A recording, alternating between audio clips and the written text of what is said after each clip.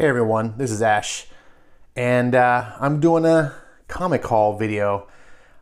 Uh, it's Wednesday, it's new comic book day. Uh, it's gonna be a quick one. Uh, it's not really an Ash Wednesday thing. I got some comics, I like to show them off. Some people like to see this stuff. I like those kind of videos. Um, so I make them. Also, I like to get food with my comics. Um, this is kind of late in the day, this is my dinner.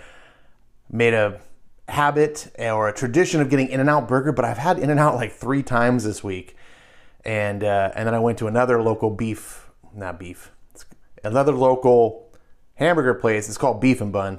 So I've had a lot of that, and I was really jonesing for some Mexican food. So I went to my favorite Mexican taco shop, Sombrero. Uh, Mexican food, sombreros. It it's good. I love sombrero. So that's what I'm doing here. I'm unboxing Mexican food on a comics channel because that's how we roll in San Diego. Um, so sorry for the weird, if it got a lot of static from the bag. I don't know how this is going to pick up on the camera, but um, whatever. Uh, I'm going to have to wipe this counter down afterwards because I feel some moisture underneath that. Um, all right, so one of the traditions of taco shops is hot carrots. Uh, you have to get them pre-bagged now because of the stupid pandemic and everyone's afraid uh, of catching the bug.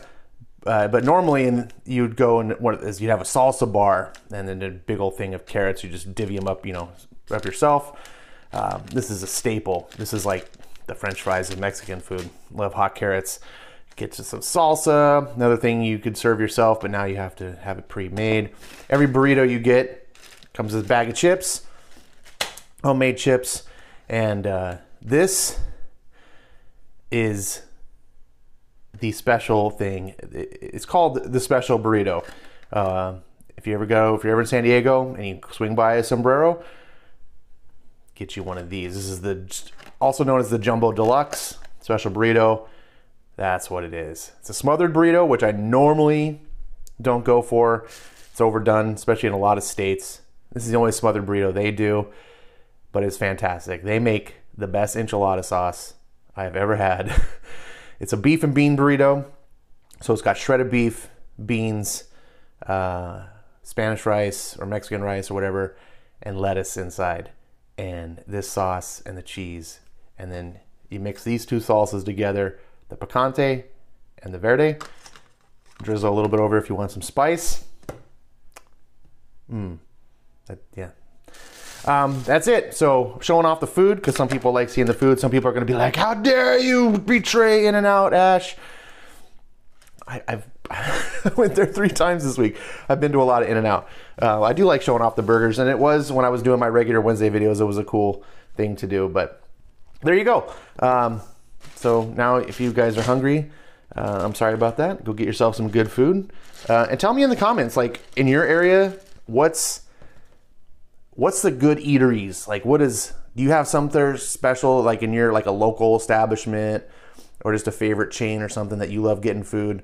Um, uh, or, you know, going out, treating yourself. Uh, let me know. I like to hear about that stuff. Um, is just one of my favorites. So, into the comics we go. Uh, I went to my special store, which I've bitched about a few times because of the, the owner that works his weird, his bad customer service. He seemed to lighten up, so I'm happy. Um, there's still a lot of quirks in that shop, but I go to this store. I call it the special store because all graphic novels and trade paperbacks are 30% off all the time. So always 30% off, which can make a big difference. 30% off of a $3.99 comic that's nice if you're buying a lot of comics, but uh, so anyways, I had to pick up Destroy All Monsters, and this is a $24.95 book, and uh, you know it's not cheap, but it's absolutely worth it. Uh, it is thick. It's about six comics worth of book in here. So if you take six times four, that's $24. You're getting six floppies, but it's hardcover, $24.95. That's MSRP. I paid like 17 something at this shop. So uh, you can even find cheaper online if you really want to go that route, but you gotta wait stuff. So, anyways, this is fantastic. We're doing a show tonight on the Criminal Cast, which is every last Wednesday of the month now, featuring my boy Skip, uh, at Skip and Tosh, and also uh, Eric Breen. And we're to be talking about this book, geeking out about it. Not really reviewing it, just being total fan geeks because um, we love these books. Spoiler alert: I have read this book, uh, even though it's in a shrink wrap. still, um, I have a digital copy that I that I read. Uh, and the show will be tonight. I don't know if I'll have this uploaded in time before, so you might be like, "Wait, that show was already passed." But there we go. So, Destroy All Monsters, the third Reckless book. It's a series of books. Uh, they do have a chronological order, but the stories are not continuing narrative. So you don't have to necessarily read them in order. Like you could just pick this book up and read it if you want. I do. I would recommend still starting at the first one, which is just called Reckless. Um, they are doing. They've announced two more, so the next one will be out in April.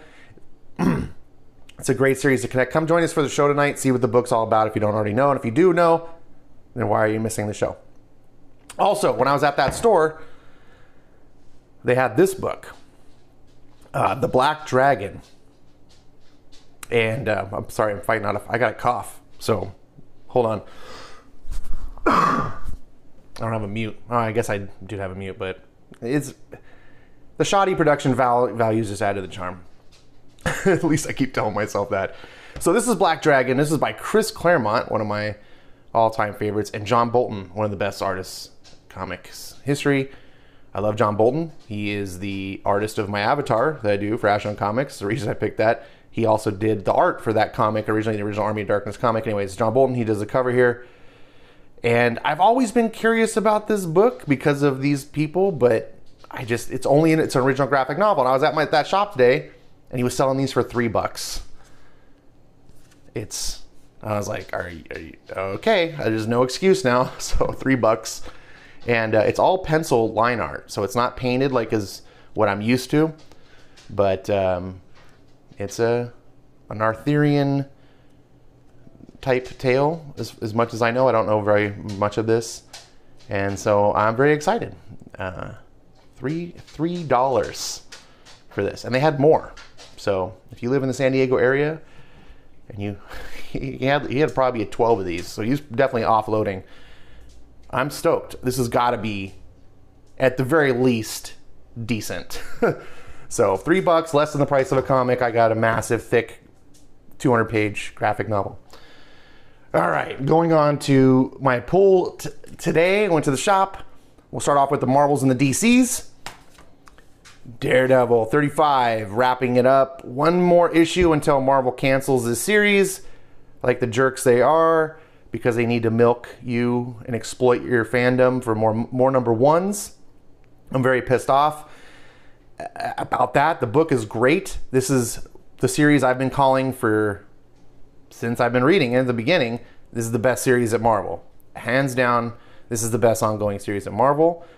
Uh, people tell you about the prison part and uh, don't listen to them the, the, I hear a lot of BS behind that. The, the, people clearly aren't reading the book and are making assumptions about it and then saying it's stupid based on those assumptions. Um, it's an interesting story about Matt Murdock being Daredevil in prison. Uh, you do see Elektra; she's running around calling herself Daredevil. It's not exactly executed the way other books would do it she's not trying to replace Daredevil. She's trying to just basically fill in while he's in prison and also prove to him that she can be a hero. Like she, because Daredevil's like, I can't work with you. You're a murderer. Like go away. And she's like, I can be like you. I can I can fight and not murder people. And it's an interesting story for her because that's the, her conflict. She's constantly trying to like, ah, how does Matt do this? you know. Um, and then she's fighting Bullseye. It's an interesting story. But she's only in about 25% of the story. Every issue has a little bit of her, but 75% of the books are about Matt. So it's not about we shuffled Matt off and replaced him with a woman like we're used to. Chip Zdarsky has really respected uh, this concept and still. I, I don't have any bad things to say about Daredevil, really, it, other than the main artist, Cheto, is not on the book because they keep taking him off, to, either because he's slow, I don't know. But in this case, I know what it is because they're doing a big event after issue 36, the Reign of Devils, or whatever it's called. and it's chips. It's going to continue where this book leaves off. It's a big event, and they did the same bullshit at Venom. Remember with Absolute Carnage, and then Black Rain. Sorry, not Black Rain. King of Black, um, where they they took off. Um, what's his boy uh, Ryan Stegman off of the Venom and replaced him as the artist so that he could go do those events. And so Venom fans had to suffer so that the events and it's just annoying. And this is going to have to cancel. And I bet you, I'll bet you, just like Absolute um, Carnage, just like that series, I'll bet you this upcoming Reign of Devil thing, whatever it's called, could have just been a Daredevil story. It could have fit in this book. Absolute Carnage should have been a Venom story. It should have just been in, you know, and they could have still had spin-offs and tied other books into that, but they wanted to make it a standalone event to get sell more number ones. And that's really annoying. I don't know if there's going to be another Daredevil book after this. If they're going to like, oh, now the event's over, so now we're relaunching Daredevil. Hooray! More number ones. I get really annoyed. Um, this legacy numbering should be the actual numbering. Yeah, 647. Look at that. This is Daredevil 647. They're going to cancel it at 648. They're not even going to get to 650. It's annoying. At least DC is like realized screw this. We're just going to jump our numbers back up to what they should be. Enough ranting. The book is solid. For 35 issues, it has been solid. I have not had regrets about the book until this cancellation, which is pure uh, obnoxious uh, gimmickry. So uh, that's all Marvel and DC. Moving on to Independents, Oblivion Song. This is another uh, bitter pill to swallow. This is a fantastic book. I've been praising this book since the beginning. I've been collecting it since number one. As you can see, it's also on number 34. And um, it's coming to an end as well. There's like three more issues. And I'm really sad. This is one of the best indies. This is one of the best books, period, on the shelves. It's fantastic. It's by Robert Kirkman of Walking Dead fame. Uh, Lorenzo De Felici does the art. He's not everyone's cup of tea, but it is a very creative alien I don't want to say alien invasion, but you got to read it for yourself. The reason I don't actually talk about this book or do anything on this book for as videos, you can't. You spoil everything. This is a heavily plot driven book where every issue is like new reveal. And if I talk about it, it just I don't, it reveals big spoilers. So that's the fun of reading this book. And it's great. It's been an awesome ride getting it monthly and stretching this experience out you can absolutely go binge this. You can go buy this in the trades and read it, and uh, it'll be fun. But you'll blast through it, and and all those great reveals will happen like every 15 minutes as you're reading, instead of over the course of two years, two plus years. So I really enjoyed getting this book. I was really hoping it would go at least twice as long. You know, Walking Dead went 193 issues, Invincible I think 144 issues. Could this this could have easily gone to 100? Um, it's weird that Outcast, which I never heard about, reached 48 issues. So I'm a little bum. I, if you hear any bitterness, it's nothing to do with the quality of this book. I love this book. I'm so frustrated to see it go, going. Um, anyways, but great book, 100%. Go check out the trades. Um, and also, continuing on, one of the best books in comics for 35 plus years, uh, Usagi Yojimbo, always Stan Sakai, written illustrated by Stan Sakai, story of a masterless samurai rabbit who lives sort of in shame because he let his master die, so now he wanders as a ronin. And he constantly has adventures throughout feudal Japan uh, as this ronin. And it's, it's a, it's a book about adventures. Most of the storytelling is parable style, so it's like one or two issues. It's not like ongoing arcs. Sometimes, every once in a while, they will do an arc but a lot of it's just you know you could pick up a tale and read it and it's it's so charming it looks cutesy like this uh, and, and in some ways it is but the stories are adult level like they're serious stories um, but they're done in a family friendly way so it's a great story that adults i love you know and, but you could share with your children it's fantastic um, I, I can't recommend Usagi enough. It's um, and it especially if you like samurai culture, which I I love feudal Japan. Um, you'll learn a lot. It's very educational, but it's not in a teachy way, if that makes sense. Anyways, I always talk about this book. It's 23. This is the ongoing series. Uh, IDW does have a second Usagi Yojimbo series, and it's usually a subtitle. And what those are are reprint books from old Fantagraphic days, so like 30, 30 plus years ago, and they're colored because Usagi was always black and white up until this. So I'm not picking up those reprints because I have them. um, I got the first series and I was like, yeah, you know, I'm, I'm, buying them just for the colors. What I'm thinking of doing actually is getting them collected because the rep- I'll have the trades and I'll have them colored. So I was like, that's just a better way to go instead of buying the floppies over again. But this series I do get because it's original. Um, there is a legacy numbering for it inside the book. It'll tell you uh, because Usagi's gone through many different publishers. So it's not like a, what I just bitched about with Marvel. It's had to reboot at number one because it was a Fantagraphics, and it went to Dark Horse, then it went to Image. I think it went back to Dark Horse for a while. Now it's at IDW. So, but if they if, in the book you can see what the actual it's like in the 200 and somethings. So that's interesting. Great book. I love it. It's just there you go. Uh, next is Echolands. This one was um, I got onto this book from Skip. He mentioned it. We, we talk about books occasionally to feature on our show. And he was like, oh, yeah, Echo, Echoland's number one. Da, da, da. I was like, I don't know anything about it. And he started telling me, he's like, that sounds interesting. And then he told me about how it's told in landscape format. So the book is like this. And I was like, oh, that's interesting. And now every landscape book I've ever read flips up this way, like a calendar. And I hate that. I hate reading my book sideways. But Echolands, I come to find out, the spine is here. This is where the staples are. On the so it opens up like wide, and it's massive panoramic view, and um, the pages. It's not like page one, page two. It opens up to one massive full page every time. It really utilizes that space. The art is what you see on the cover. That is the exact quality and style. That is the same art you will get inside the book as well. Fantastic. The writing is not that strong. Um, but don't confuse that with being bad. When I say it's not that strong, it's just very light. At least it seems that way so far. I've only read two issues. This is issue three. It's not like it's a bad story. It's not like it's terrible. Like I'm like, oh, it's painful. It's not.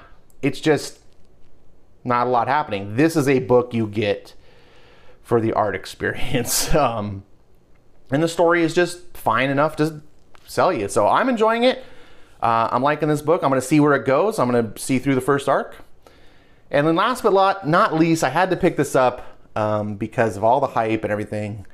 Uh, those of you may have heard about a little indie book called Something is Killing the Children, um, which some people are calling the next Walking Dead as in terms of like su- success in the indies. Uh, number one, I think, goes for like 500 bucks, and it's only in the 20s. It's the hotness on that book has soared. So there's a spin-off book that just got released today called House of Slaughter, and they have a foil variant, which I picked up. This is the cover, but foil looked really cool, and I was like, well, if I'm gonna pick up the number one, I'll get the foil so I'm going to give this a try. I still have not read Something is Killing the Children.